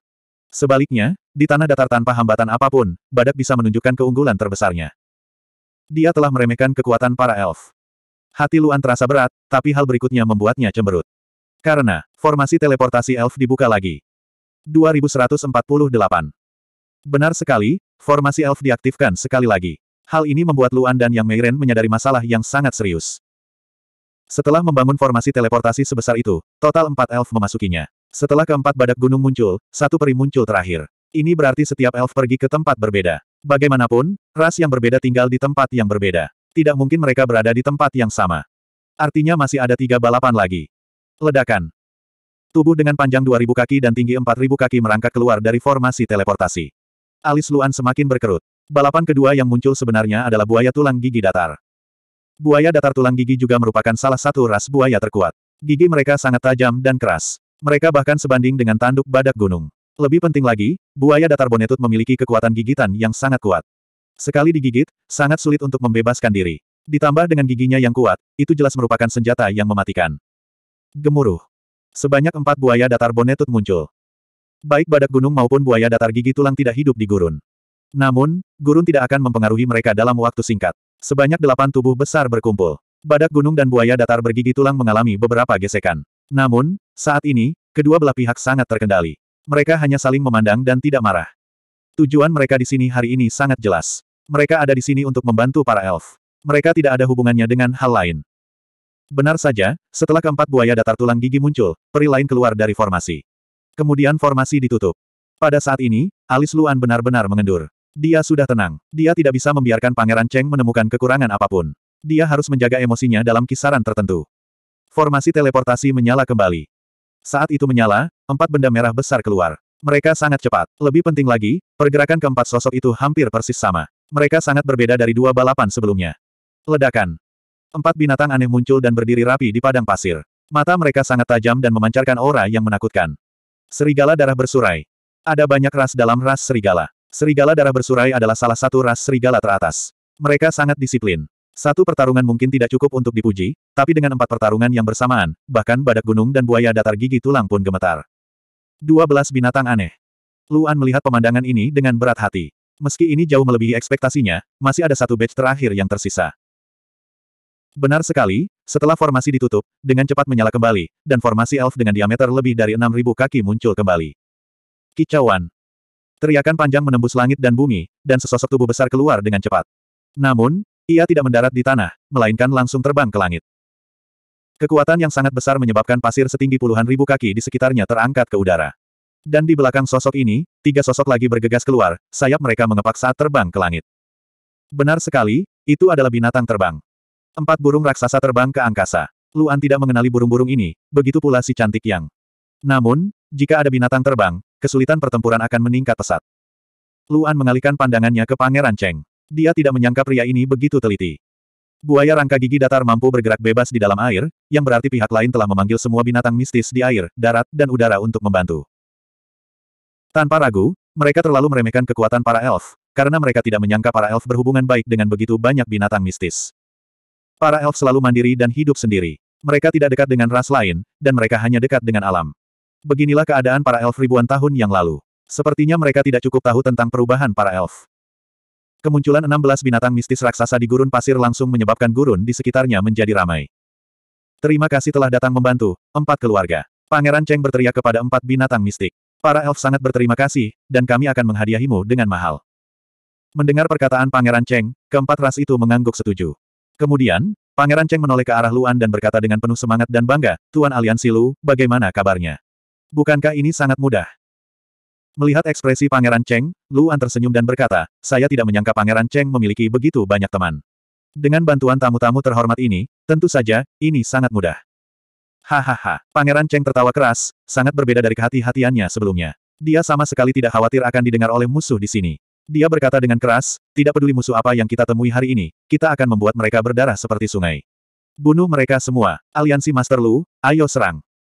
Luan mengangguk dan berkata, karena itu masalahnya, mari bekerja sama untuk mengalahkan musuh. Dengan itu, Luan dan Yang Meiren terbang ke arah barat pada saat yang bersamaan. 17 elf, termasuk Pangeran Cheng, melakukan hal yang sama. Mereka hanya berjarak beberapa ribu kaki dari gurun. Sebanyak 12 binatang mistik mengikuti di belakang mereka, dan ada empat binatang mistik terbang berputar-putar di ketinggian yang lebih tinggi. Ada 17 elf dan 16 binatang mistik, total 33 musuh. Hanya dengan dia, Yang Meiren, mantel merah, dan Raja Beruang Hitam, apalagi menjebak semua musuh, mereka bahkan mungkin tidak akan bisa mengalahkan mereka. Mereka hanya bisa menunda sebanyak mungkin sampai sembilan tim membunuh semua musuh dan berkumpul di sini.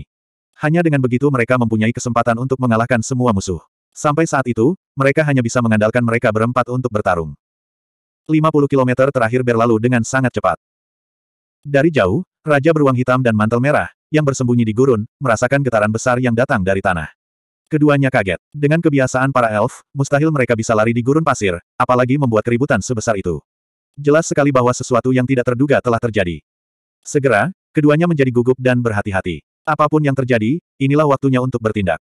Prajurit dilatih selama seribu hari untuk digunakan dalam sekejap. Meskipun keduanya bukan bawahan Luan, mereka memiliki hubungan yang sangat penting dengan Luan. Tidak peduli apa, mereka tidak boleh kalah dalam pertempuran ini. Gemuruh. Dua belas binatang mistis berlari di padang pasir, maju dengan cepat. Keempat serigala darah bersurai berlari di depan. Di antara keempat ras tersebut, mereka memiliki indera yang paling sensitif, terutama indera penciuman. Ini adalah keunggulan kuat yang tidak dimiliki oleh tiga balapan lainnya. Bang! Tiba-tiba, keempat serigala darah bersurai di depan berhenti, menyebabkan gurun di depan mereka berguncang hebat. Melihat ini, elf dan ras lainnya segera berhenti juga. Binatang mistis yang terbang juga mulai berputar-putar di udara. Apa yang salah? Tubuh Pangeran Cheng gemetar saat dia buru-buru bertanya pada serigala darah bersurai. Di antara empat serigala darah bersurai, yang memimpin mengendus keras dan melihat ke kejauhan. Ia membuka mulutnya dan berkata dengan suara rendah, itu aura binatang mistis. Semua elf dan binatang mistis gemetar dan segera menjadi gugup. Di mana? Pangeran Cheng buru-buru bertanya, berapa banyak? Di depan, di ujung pandanganku. Serigala darah bersurai berkata dengan suara rendah, aku hanya mencium satu. Mata Luan sedikit terfokus. Tempat ini setidaknya berjarak 50 ribu kaki dari tempat persembunyian Raja Beruang Hitam. Indera penciuman Manet Blood Wolf ini luar biasa kuat. Kata-kata Manet Blood Wolf mengejutkan semua elf dan binatang mistis. Mereka menoleh untuk melihat ke depan dengan sungguh-sungguh dan menghela nafas lega di dalam hati mereka. Agar serigala darah bersurai bisa menciumnya, bahkan jika pihak lain lebih kuat dari serigala darah bersurai, mereka harus berada di alam yang sama. Kalau tidak, Manet Blood Wolf pasti tidak akan bisa mencium baunya. Jika hanya ada satu musuh, mereka pasti akan memenangkan pertempuran ini, meski mereka tidak mengira hanya ada satu musuh. Apakah itu ular? Salah satu badak gunung berat bertanya. Serigala darah bersurai yang besar menggelengkan kepalanya dan berkata dengan serius, dari auranya, itu jelas bukan ular. Auranya sangat kuat. Saya khawatir itu sejenis binatang buas. Binatang buas. Semua elf dan binatang mistis gemetar lagi. Bahkan hidung manet Blood Wolf tidak dapat mencium spesies pihak lain. Seberapa langkahkah itu? Ayo kita tangkap musuh ini dulu. Pangeran Cheng berpikir sejenak dan segera berkata dengan keras, kalau begitu kita akan menanyakan di mana musuh lainnya berada. Semua elf dan binatang mistis segera mengangguk. Jika hanya ada satu binatang buas, mereka tidak punya alasan untuk mundur apa pun yang terjadi. Mengenakan biaya. Pangeran Cheng meraung dan memimpin 16 elf untuk menyerang terlebih dahulu. 16 binatang mistis di langit dan di tanah juga menyerang, menyerang lurus ke depan. Luan dan si cantik yang juga bergerak, tapi kecepatan mereka tidak secepat para elf dan binatang mistis itu. Mereka segera sampai di ujung ekor rombongan. Namun, hanya ada dua, jadi tidak terlalu menarik perhatian. Menurut waktu, butuh waktu lama sampai bala bantuan dari sembilan tim tiba. Tidak peduli apa, mereka harus memikirkan caranya sendiri. 2149. Gemuruh. Suara 12 binatang aneh yang berlari kencang mengguncang gurun di sekitarnya, menyebabkan pasir dan debu beterbangan ke mana-mana. Dalam sekejap mata, mereka telah menempuh jarak 300 ribu kaki. Mereka hanya berjarak 300 ribu kaki dari tempat persembunyian Raja Beruang Hitam. Dia tidak bisa membiarkan Raja Beruang Hitam dikepung. Kalau tidak, akan lebih sulit untuk bertarung setelah dikelilingi oleh begitu banyak binatang aneh. Raja beruang hitam hanyalah binatang aneh peringkat delapan tingkat menengah. Bahkan jika dia pernah menjadi ahli puncak, sekarang sudah pasti bukan ahlinya. Luan mengerutkan kening. Dia tidak tahu bagaimana memperingatkan Raja beruang hitam untuk menyerang terlebih dahulu. Namun, saat Luan sedang berpikir sekuat tenaga, perubahan tiba-tiba terjadi. Ledakan. Ledakan yang menghancurkan bumi terdengar dari jarak 300 ribu kaki. Pasir dan debu yang sangat besar beterbangan hingga ketinggian 2000 kaki. Di saat yang sama, seekor beruang hitam yang sangat besar muncul di hadapan semua roh dan binatang aneh. Mengaum. Beruang hitam itu meraung. Suara menakutkan itu langsung menyebabkan gurun di depannya meledak. Bahkan roh dan binatang aneh pun gemetar. Mereka benar-benar merasa gemetar karena suara gemuruh. Tekanan aura. Tekanan aura yang murni dan absolut. Hanya satu binatang aneh, hanya satu raungan, dan itu menyebabkan 17 roh dan 16 binatang aneh gemetar ketakutan. Raja beruang hitam telah muncul. Luan menghela nafas lega. Raja beruang hitam memang ahli puncak. Dia telah melanggar rencananya dan muncul lebih dulu. Jelas sekali bahwa mereka telah merasakan masalah melalui getaran tersebut. Namun, meski Raja Beruang Hitam muncul lebih dulu, pertempuran ini masih terlalu sulit untuk dilawan. 17 roh dan 16 binatang aneh hanya tertegun sejenak sebelum melanjutkan menyerang ke depan. Mereka bahkan tidak berhenti. Tidak ada yang bisa dilakukan. Aura Raja Beruang Hitam kuat, tapi dia masih sendirian. Dengan jumlah mereka yang begitu banyak, tidak mungkin mereka takut. Gemuruh. Kelompok besar itu menyerang ke depan dengan ganas, dan yang di depan adalah empat serigala darah bersurai. Serigala dan beruang dilahirkan dengan permusuhan yang kuat. Ini juga alasan mengapa keempat serigala berada di depan. Namun, karena hal inilah Raja Beruang Hitam juga dipenuhi rasa permusuhan terhadap serigala. Melihat keempat serigala darah bersurai semakin dekat, dia tidak mundur sama sekali. Sebaliknya, ia meraung lagi. Mengaum. Dengan raungan yang keras, Raja Beruang Hitam tidak mundur. Sebaliknya, ia menyerang keempat serigala darah bersurai. Bahkan jika ada 33 musuh kuat di depannya, dia tidak takut. Bang! Bang! Saat mereka hendak bertemu, kedua serigala darah bersurai itu melompat dan menerkam pada saat yang bersamaan. Adapun dua serigala darah bersurai lainnya, mereka menyerang secara langsung. Delapan cakar depan mereka menyapu Raja Beruang Hitam, diikuti oleh empat mulut berdarah. Melihat serangan yang datang dari atas dan bawah, Raja Beruang Hitam pun melakukan serangan baliknya sendiri. Bang! Tubuh Raja Beruang Hitam yang sangat berat benar-benar melompat ke udara. Kedua cakar depannya langsung mencengkram leher kedua serigala di atas, sedangkan kedua cakar belakangnya langsung menginjak kepala dua serigala darah bersurai di bawah. Bang! Hampir di saat yang bersamaan, empat cakar mengenai sasaran di saat yang bersamaan. Kelincahan tubuh sebesar itu jauh melampaui imajinasi. Kedua cakar belakangnya menginjak kepala kedua serigala darah bersurai dengan keras, membuat mereka terjatuh ke tanah dengan bunyi keras. Pada saat yang sama, lengan bawah Raja Beruang Hitam jauh lebih panjang daripada cakar serigala darah bersurai. Itu langsung menabrak leher dua serigala darah bersurai di atas, menyebabkan mereka batuk darah. Tapi ini bukanlah akhir. Dua cakar depan Raja Beruang Hitam dengan kuat menusuk leher serigala darah bersurai. Kekuatan serangan Raja Beruang Hitam sebenarnya mampu dengan paksa membatalkan momentum kedua serigala darah bersurai, dan bahkan membawa serigala darah bersurai ke depan. Gemuruh. Kedua serigala darah bersurai itu dengan paksa ditarik turun dari udara oleh Raja Beruang Hitam dan dihempaskan ke tanah. Jika bukan karena dua badak gunung berat yang menghindar dengan cepat, kedua serigala darah bersurai itu pasti sudah tertangkap oleh kula badak dan mati tanpa ragu. Meski begitu, di bawah kekuatan penuh Raja Beruang Hitam, gurun tak berujung langsung runtuh seolah-olah telah runtuh. Dampak yang mengerikan itu benar-benar membersihkan gurun di sekitarnya, memperlihatkan bebatuan di bawah gurun. Dan di atas reruntuhan, leher kedua serigala darah bersurai benar-benar patah. Mereka berada di ambang kematian dan tidak bisa bergerak sama sekali. Mereka tidak ada bedanya dengan mati. Hanya satu serangan saja yang telah membunuh dua binatang eksotis. Seketika, semua elf dan binatang eksotik gemetar, kulit kepala mereka kesemutan. Sangat kuat. Kekuatan yang melampaui kekuatan. Mengaum. Raja beruang hitam meraung lagi, dan di depannya, dua badak gunung berat yang baru saja menghindar menyerangnya. Kedua badak yang tangguh dan besar itu cukup untuk menjadi ancaman fatal bagi Raja beruang hitam. Cara terbaik bagi Raja Beruang Hitam untuk menghadapinya adalah dengan mundur, tetapi kenyataan tidak mengizinkannya. Kecepatan merangkak buaya datar bonetut sangat cepat. Ia sudah berputar di belakang Raja Beruang Hitam dan menyerang kedua kaki belakangnya. Mundur sama sekali meminta pemukulan. Ia baru saja mendarat di tanah dan tidak sempat melompat lagi. Itu hanya bisa dilakukan secara langsung. Cakar depan Raja Beruang Hitam segera meninggalkan kedua serigala darah bersurai. Seluruh tubuhnya berdiri dan terbanting ke depan. Untungnya, lengannya lebih panjang dari tanduk kedua badak gunung berat. Ia memotong dari dalam dan langsung menamparkan kepala badak gunung berat. Namun, pertahanan badak sangat kuat. Saat ditampar, keras dan lembut. Bahkan cakar raja beruang hitam tidak dapat menyebabkan kerusakan besar padanya. Kekuatan kedua badak gunung berat sungguh menakutkan, apalagi saat mereka memiliki momentum untuk mendorong mundur raja beruang hitam.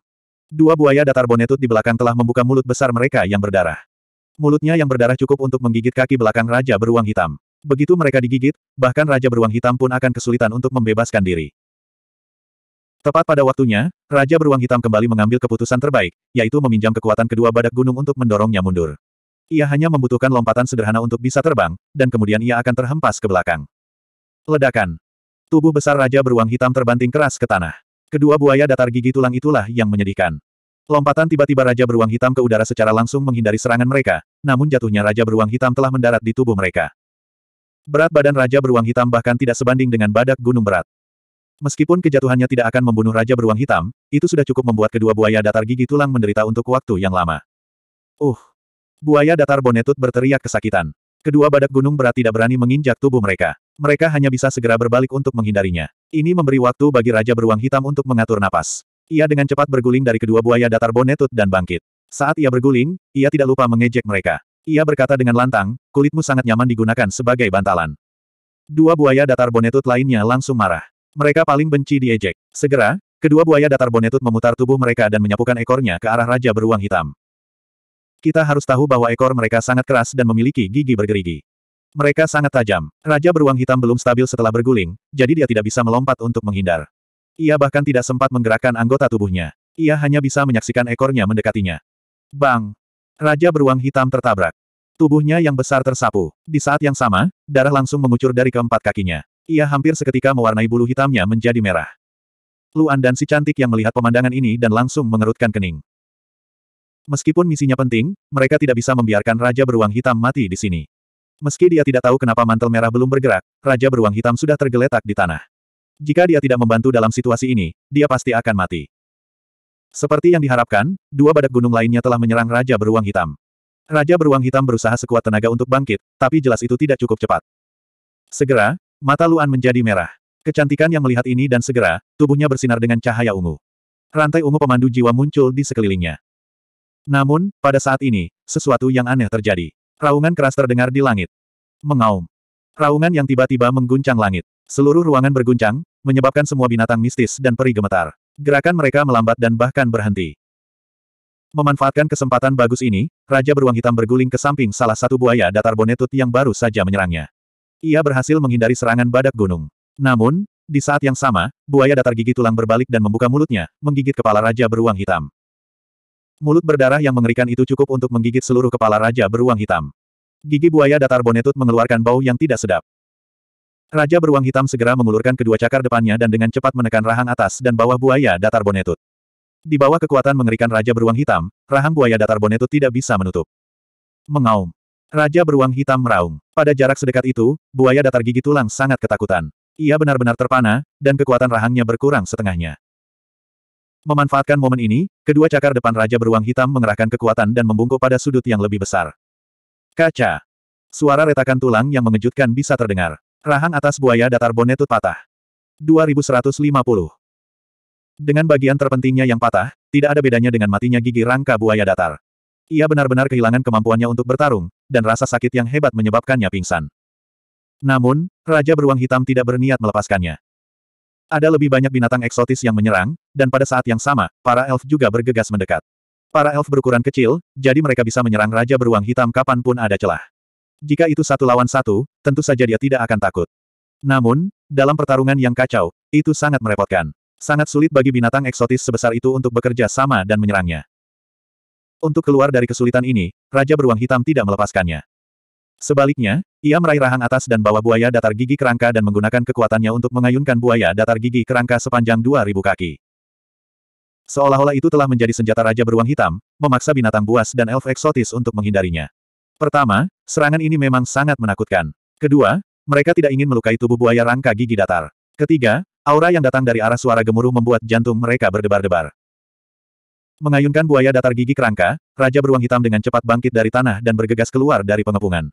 Baru kemudian ia melempar buaya datar gigi rangka ke samping. Melihat ini, Luan dan si cantik yang menghela nafas lega dan tidak bergerak. Yang meraung tentu saja adalah mantel merah. Di kejauhan, seekor singa api besar dengan panjang lebih dari 25.000 kaki dan tinggi 10.000 kaki berdiri di gurun. Postur singa api ini sangat arogan, dan bulunya terbakar dengan api merah yang tebal. Bahkan suhu seluruh gurun sepertinya meningkat. Menakutkan. Itu sangat kuat. Perasaan ilahi dari binatang dan roh eksotis segera menegang. Singa betina merah dengan api di sekujur tubuhnya benar-benar berbeda dari beruang hitam. Dalam hal kekuatan mentah, dia lebih kuat dari mereka. Meskipun mereka memiliki keunggulan jumlah, mereka masih menimbulkan banyak tekanan. Itu adalah mantel merah. Luan melihat ke arah mantel merah di kejauhan. Sejujurnya, bahkan dia jarang melihat wujud asli Red Coat. Singa api yang diselimuti api merah ini sungguh sangat kuat. Dengan tambahan Red Coat, situasi pertempuran akan berubah drastis. Jika Red Coat dan Black Bear King bisa menggunakan taktik gerilya, mereka mungkin benar-benar bisa mengulur waktu sampai orang-orang dari Ice Fire Union tiba. Kemunculan Red Coat benar-benar menimbulkan banyak tekanan bagi para binatang dan roh eksotik. Hanya beruang hitam saja yang telah menyebabkan kematian dua serigala darah bersurai dan buaya datar tengkorak, sementara dua buaya datar tengkorak terluka parah, kekuatan mereka sangat berkurang. Sekarang, dengan tambahan singa yang begitu kuat, mereka merasa bahkan jika mereka menjatuhkannya, akan ada binatang aneh lainnya yang akan mengalami nasib yang sama. Setelah berkultivasi sampai titik ini, tidak ada seorang pun yang ingin mati. Saat itu, Raja Beruang Hitam sudah bergerak menuju arwah merah. Dia tahu bahwa bertarung secara terpisah tidak menguntungkan dibandingkan bertarung bersama. I Merah memiliki gagasan yang sama. Dia tidak menyerang sebelumnya bukan karena dia takut, tapi karena dia ingin melihat sendiri seberapa kuat Raja Beruang Hitam yang legendaris itu. Dia memang sangat kuat, dan pemahamannya dalam pertempuran itu sangat akurat. Namun, Hong Yi jelas bukan orang yang mudah menyerah. Dia berada di medan duel benua singa api setiap hari, jadi dia sangat percaya diri dengan kekuatannya sendiri. Dibandingkan dengan Raja Beruang Hitam dan Mantel Merah, yang penuh semangat juang, pihak Pangeran Cheng jelas berhati-hati dan ketakutan. Badak adalah satu-satunya spesies yang tidak terluka di darat, namun mereka juga sangat khawatir. Mereka menoleh ke arah Pangeran Cheng dan bertanya, apakah kita masih akan bertarung? Pangeran Cheng memandangi dua binatang aneh di kejauhan, yang belum pernah dia lihat sebelumnya. Dia bahkan lebih yakin bahwa mahkota peri ada di tim ular Chang Yu Surgawi, dan kemungkinan besar itu ada di tangan dua binatang aneh ini. Tidak peduli apa, dia tidak bisa melepaskan kesempatan ini. Bertarung. Pangeran Cheng mengertakkan gigi dan berteriak, tentu saja. Kalian semua berjanji padaku, dan kalian tidak bisa menarik kembali kata-kata kalian. Badak itu berhenti sejenak, lalu bertanya dengan suara rendah, oke. Okay. Bagaimana kita bertarung? Beruang dan singa, keduanya adalah spesies ganas. Kata Pangeran Cheng dengan keras. Gunakan serangan jarak jauh dan langsung tekan dari jauh. Mendengar kata-kata Pangeran Cheng, para peri dan binatang aneh semuanya mengangguk. Ini memang metode yang paling aman. Meskipun metode ini tidak terlalu efektif, ini jauh lebih baik daripada membuat lebih banyak orang mati. Tuan Aliansi Lu, inilah waktunya bagimu untuk bergerak. Pangeran Cheng tiba-tiba menoleh untuk melihat Luan di kejauhan dan berteriak, jangan lupa bahwa kamu menginginkan sebagian besar kekayaan. Apakah kamu tidak akan melakukan apa pun? Mendengar pertanyaan Pangeran Cheng, Luan tidak marah. Sebaliknya, dia berkata, saya tidak dapat membantu Anda sekarang, tetapi saya dapat membantu Anda kali ini. Mendengar perkataan Luan, ekspresi Pangeran Cheng menjadi lebih baik, dan dia segera memberi perintah. Segera, para peri dan binatang aneh menyebar dan mengepung mantel merah dan raja beruang hitam. Mantel merah dan raja beruang hitam tentu saja tidak akan membiarkan diri mereka dikepung. Mereka segera mencoba menerobos ke satu arah, namun saat mereka hendak berlari, sebuah serangan datang. Serangan itu datang dari langit, dan empat sambaran petir yang mengerikan melintas, memaksa mantel merah dan raja beruang hitam menghindar. Kalau tidak, mereka pasti akan terluka jika bertabrakan dengan sambaran petir. Gemuruh. Batu-batu itu hancur menjadi reruntuhan karena sambaran petir. Mantel merah dan raja beruang hitam terpaksa berhenti, dan para periserta binatang aneh mengambil kesempatan itu untuk segera mengepung mereka. Tentu saja, empat burung di langitlah yang menyerang. Meskipun dia telah kehilangan tiga anak buahnya, Pangeran Cheng masih memiliki keunggulan absolut dalam pertarungan 30 lawan 2. Ini dengan syarat Luan dan Yang Meiren tidak menyerang. Namun, bagaimanapun juga, mereka harus menyerang kali ini, atau mereka akan dicurigai oleh Pangeran Cheng. Setelah menyebar, tidak ada peri atau binatang aneh di sekitar Luan dan Yang Meiren. Yang Meiren membuka mulutnya dan bertanya dengan lembut, Guru, apa yang harus kami lakukan? Serang, kata Luan cepat. Tapi kamu harus melindungi mantel merah dan raja beruang hitam. Yang Meiren sedikit mengangguk. Pada saat ini, semua peri dan binatang aneh telah menyerang. Tujuh belas peri menyebar sepenuhnya, dan kekuatan alam yang kuat berkumpul di tengah, menekan mantel merah dan raja beruang hitam dengan energi murni. Ini tidak mungkin dilakukan dalam situasi satu lawan satu atau dua lawan satu, karena serangan energi murni tanpa perubahan apa pun akan sangat berkurang. Namun, saat itu 30 lawan dua, dan terdapat kelebihan energi, sehingga Pangeran Cheng secara alami memiliki kemampuan untuk menggunakan metode ini. Segera, Tekanan mengerikan melanda mantel merah dan raja beruang hitam. Mantel merah masih baik-baik saja, bagaimanapun juga, kekuatannya lebih tinggi dari semua peri dan binatang aneh di sini. Namun, Raja Beruang Hitam hanya berada di tengah-tengah level 8, dan sulit baginya untuk menahan tekanan yang sama seperti mantel merah. Tekanan ini tidak ada artinya baginya ketika dia berada di puncaknya, tapi sekarang, itu hampir cukup untuk membunuhnya. Pada saat inilah, cahaya ungu tiba-tiba muncul dari samping, melewati celah antara energi yang berbeda dan menyelimuti tubuh Raja Beruang Hitam. Tubuh Raja Beruang Hitam benar-benar tertekan, dan dia bahkan tidak bisa bergerak, apalagi menghindar.